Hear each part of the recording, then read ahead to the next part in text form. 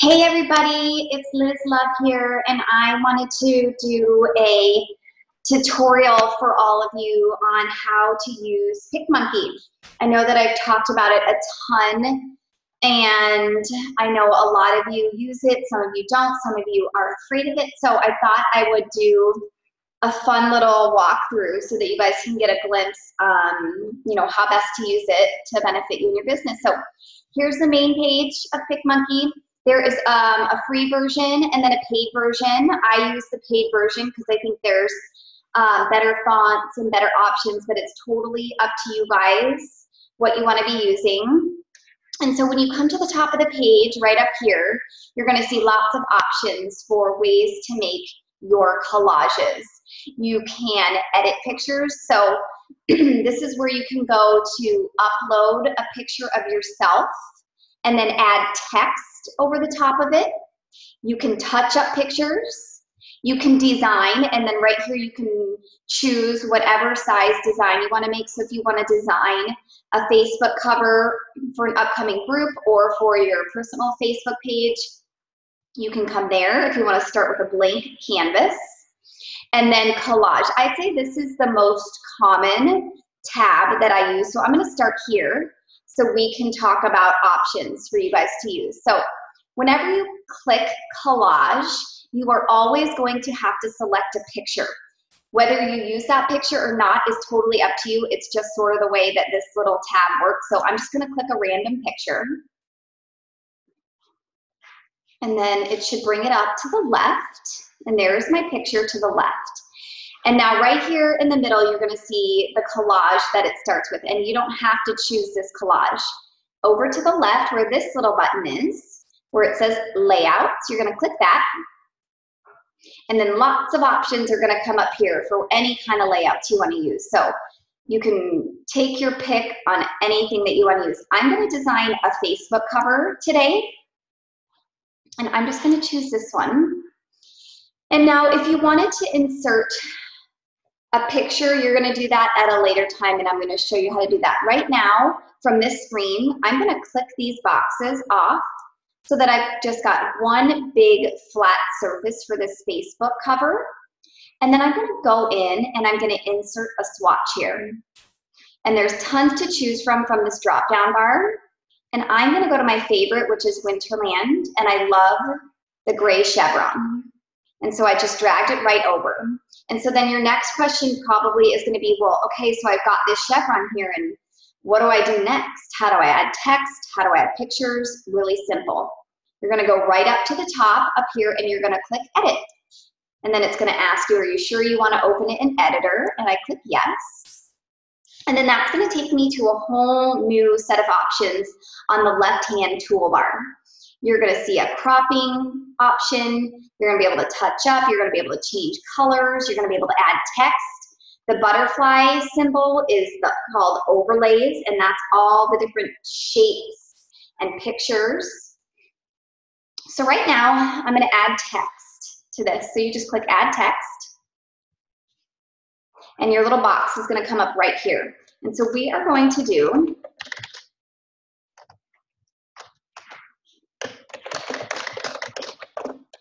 I'm going to create a Facebook banner for my new Team Love to Be Fit new coach training page.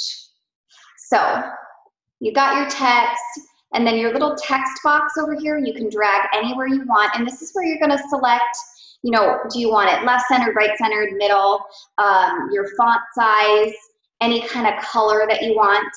And then to the left is where you're going to select your actual fonts. So I already know what my fonts are for my um, team logo because I kind of have those set. So I'm gonna go over here and scroll down. There's so many fonts to choose from. It's so much fun. And then I'm just gonna start changing, you know, all my stuff around and changing my fonts and changing my colors so that they're exactly what I want them to be. Actually, I think the fit is a turquoise. It is. And then love is pink. So it's pretty simple, that part of it, you know, choosing your colors and then obviously I wanna make this bigger. And you can type in how big you want it to be and see how it does that funky little thing. All you need to do is select it and then drag it to the left and then drag it to the right. I'm gonna move that and then I'm gonna move this and center this. And then there it is. I'm not done. I'm going to keep editing it, but I want to go back and I want to show you guys lots of other things that you can do. So I'm going to click this off. And it's going to be mad at me because I'm not going to save the changes. It's fine.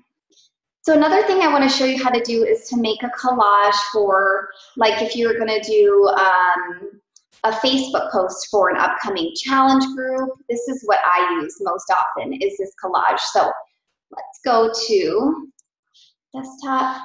Let's go to coaching. Let's find a picture of me. And let's just grab that picture. And then here it is up to the left again. And so I am going to put this picture right here. I'm going to move that around. Perfect. And then it's up to you whether you want to fill these boxes with or swatches as I like to call them. I'm not going to do that right now. Um, so I'm going to go click edit. It's going to ask me again. I'm going to open it in editor. And then here's my picture and I've got this whole blank white space to do whatever I want with. So here's your chance to get creative and do whatever you want next to your picture. You can add in your overlays, text, anything that you want.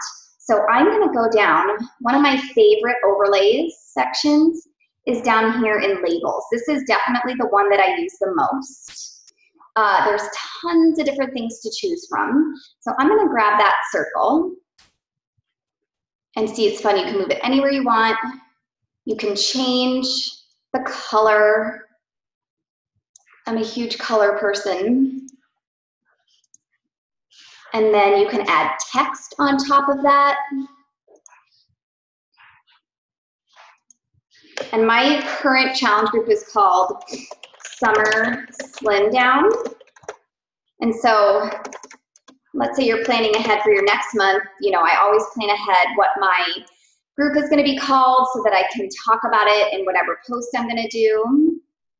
And then, so see how I've got my text here? This is going to be something that happens a lot, you guys. And now, where did my little text box go for me to edit this text? Sometimes it just disappears. So what you have to do is click off of it, click back on the text, and then here it is. It pops back up. For some reason, it does that. Don't ask me why, I'm not quite sure. So then I'm going to move this around. I'm going to center this. I'm going to turn that turquoise. And then I want to change that down to make it a little bit smaller so that I can fit this in my circle. And then I'm going to move it around. Now I want to make it bigger. Perfect center that. And there are so many different things you can do, guys. I'm just using these as examples. Another great overlay that I like is the banners. I'm gonna show you a fun trick with these to write text on. So you can make them as big or as small as you want. And then I'm gonna have it, so whatever you don't see on the page, so it's just gonna be cut off, which I kinda like sometimes. I'm gonna make that a fun yellow and then you can put text on top of that.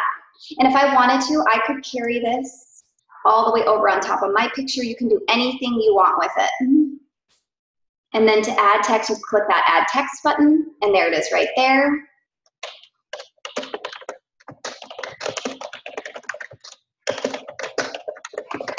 You can write whatever you want. And see, look, my little text editing option went away, so I clicked it off, clicked it back on.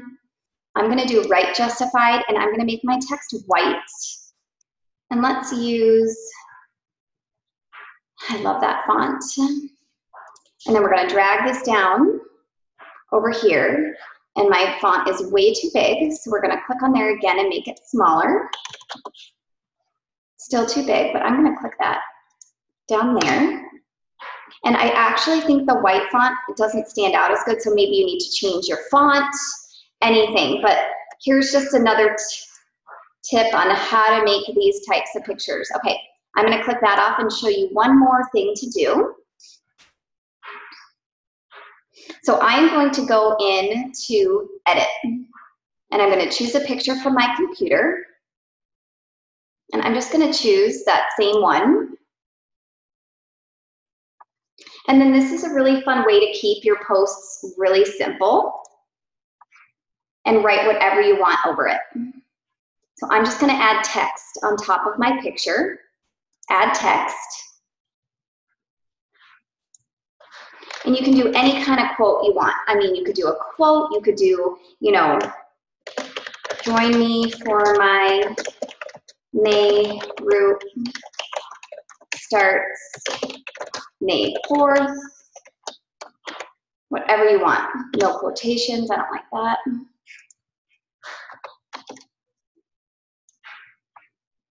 Let's change the font a little bit here. It's another one of my favorite fonts is Sketch Block. I'm gonna extend that. I'm gonna center that.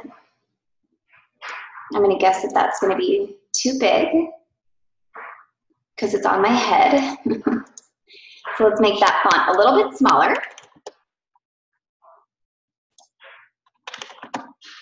Perfect. And then you could even go in and add an overlay, like something to the right over here. These are always fun, so you could click this overlay.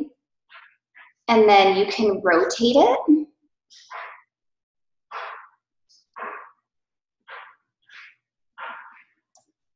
And then move that over here. You could change the color of this to anything you want. You've got the color blocks here that you can choose from. Obviously, I'm a huge fan of pink.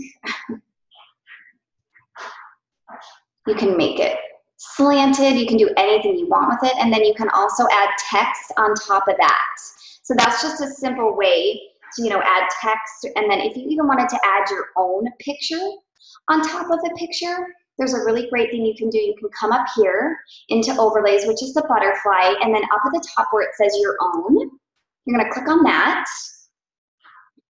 And then that's gonna bring me to anywhere. You can click on your desktop, you can go and click any picture that you want. So I'm just gonna click this picture. Not that I would put two pictures on top of each other, but you can just see how I've added another picture on top of a picture. So there are so many different things that you guys can do with PicMonkey. So hopefully that this was really helpful.